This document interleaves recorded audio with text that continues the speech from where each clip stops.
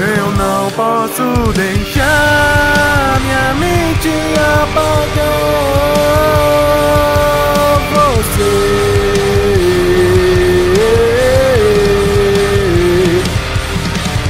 Se não, não para, leio em minha sala o nome ou palavra da